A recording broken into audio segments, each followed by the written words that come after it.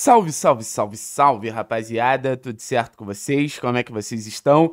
Seguinte, meu povo, essa semana a gente teve alguns acontecimentos expressivos, podemos dizer assim, no futebol brasileiro, né? O primeiro, o goleiro Cássio comunicando a saída do Corinthians depois de 12 anos e depois de vários momentos tensos ali do ídolo Cássio com a fiel corintiana. E você teve também o caso do Gabriel Barbosa, é, saiu uma foto dele vestindo a camisa do Corinthians, perdeu a camisa 10 do Flamengo e gerou também uma gigante repercussão na torcida que ele é ídolo, ou pelo menos era ídolo, né? Já que foi muito mal visto pelo torcedor do, do, do, Flamengo a foto que eu tenho certeza que ele fez de propósito, irmão. Aquela foto ali não tem explicação, cara. Como é que ele dá um mole daquele? Ele não é tão burro, não é, não é. Aquilo ali foi, foi, foi combinado, não sei com quem, mas foi combinado. Mas eu tô aqui pra gente trocar uma ideia, cara, nesse momento que a gente vê uma série de idolatrias sendo. Não vou falar sendo finalizadas, mas uma série de idolatrias sendo reavaliadas, podemos dizer assim. É, dá para dizer que o torcedor do Atlético ele é um privilegiado, cara. É, nesse elenco atual, que dá para dizer que é um elenco que ainda precisa se afirmar, é um elenco que ainda tá buscando brigar pelos títulos mais relevantes. No quesito ídolo, cara, é, é muito expressivo o que o torcedor do Atlético tem. De ídolos novos, ídolos geracionais, ídolos que conquistaram muito pelo clube, ídolos que a gente só vai perceber que são ídolos daqui a algum tempo, mas se tu for parar para pensar, tem de todos os tipos. É, você tem alguns dos maiores vencedores da história do clube vestindo a camisa do clube nesse momento. Cara, só de você ter Nicão e, e, e Thiago Heleno vestindo a camisa do Atlético é algo gigante, cara. É algo gigante, gigante, gigante. São dois caras que representam muito são dois dos maiores jogadores da história do clube, assim. E são dois dos maiores vencedores da história do clube, o que é muito legal de sempre estar tá ressaltando também. Porque vencer é, é, é importante pra caramba, importante pra caramba, tá levantando taça, ter título na história. Pô, o Thiago e o Nicão fizeram parte de toda essa trajetória da fase mais vencedora da história do clube, né? E é até curioso que desde que o Nicão saiu, a gente bate na trave de uma Libertadores, mas a gente não ganha nada expressivo.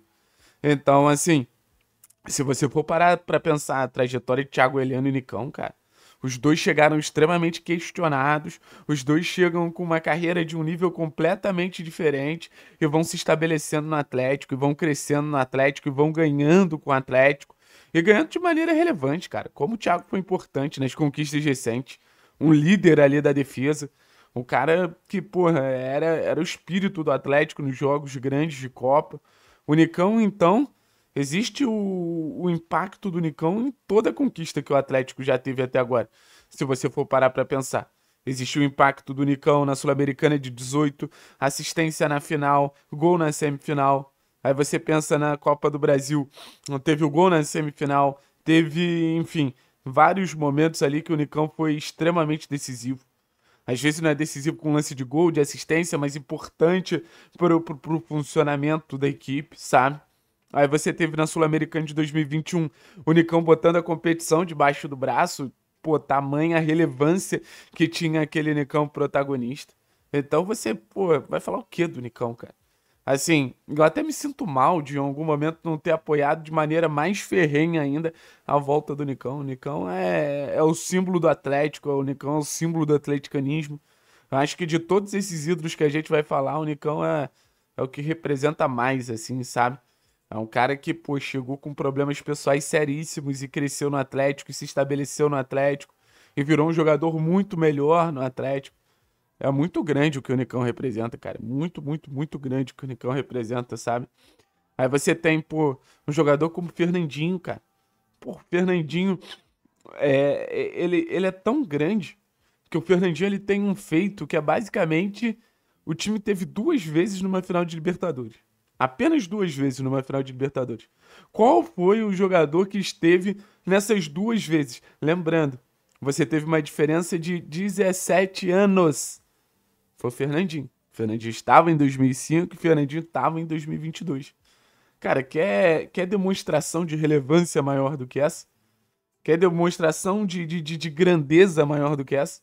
O grande sonho do clube, a grande, assim, o, a grande missão do Clube Atlético Paranaense, ela só esteve perto do clube enquanto o Fernandinho estava vestindo a camisa do clube.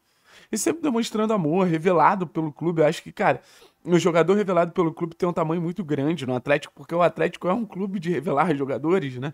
O Atlético é um clube que, que, que tem como principal missão ter esse, ter esse cenário de clube revelador, ter esse cenário de clube é, expressivo nesse sentido. O Atlético sempre buscou isso e a gente sabe disso. Aí você tem outra cria, outras crias do clube, né? Como o Pablo. Cara, o Pablo você pode falar qualquer coisa, um dos maiores artilheiros da história do clube, cara. Como é difícil hoje você fazer mais de 50, 60 gols com a camisa de qualquer clube. O Pablo tá lá, ajudando, ajudando, ajudando. São mais 40 participações em gol desde esse retorno, cara. Vocês têm noção disso? Vocês são. Cara, é, é muita coisa. E o pessoal ainda fica chamando o Pablo de bagre. Até pausei o vídeo para ir pesquisar. 44 participações em gol desde que voltou, cara. Tem ídolo do clube que não tem 44 participações em gol na, na, na história toda que ele teve aqui, sabe? Então, Pablo é, pô, é, é, é, talvez um dos ídolos mais subvalorizados da história do Atlético. Aí você tem outros ídolos surgindo, cara. Pô, desculpa, eu não tenho como olhar pro Bento e não entender que ele é um ídolo. Talvez não seja um ídolo do tamanho desses, porque falta uma grande conquista pelo Bento, apesar do título da Sul-Americana de 21, onde o Bento faz parte. Mas, cara, é ídolo. A relação que ele tem com o clube, a relação que ele tem com o torcedor. Mais um cria do Caju, sabe?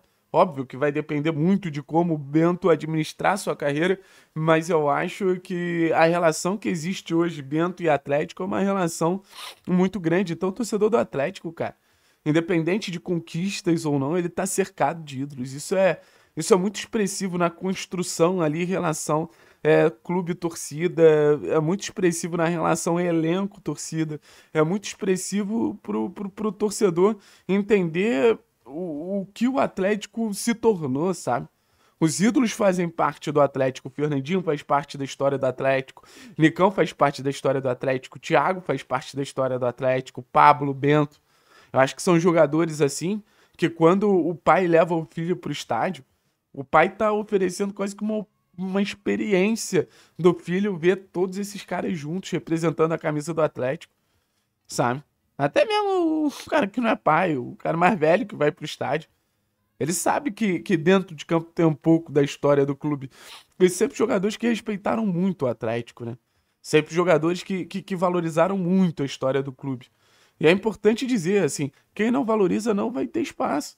O senhor Rony não valoriza a história do clube, não vai voltar, não adianta, gente. Não adianta. O Atlético ele é um clube que dá para dizer que ele é um clube muito temperamental nesse sentido. Se você respeitar a história do clube, maravilhoso. Se você não respeitar, irmão, forte abraço, tamo junto. Tchau, tchau. Então, assim, é um, é um sentimento vendo Cássio, vendo Gabriel, que a gente é muito privilegiado, a gente tem, tem assim, uma sorte muito grande de ver esses caras representando o, o Clube Atlético Paranaense. É, é só isso que eu queria dizer, é quase que uma declaração e um agradecimento. Muito obrigado, ídolos. Aqui no Rio existe a mania de falar que o Atlético não tem ídolos, né, cara? Pô, se você pegar só esses que eu falei aqui, Nicão, Thiago Heleno, Fernandinho, é, Pablo e Bento tem mais título que muito time aí. vamos deixar quieto, mas tem mais título que muito time aí. Pelo menos no século, então, porra, ia deixar uma galera para trás. Nos últimos 10 anos, meu Deus do céu.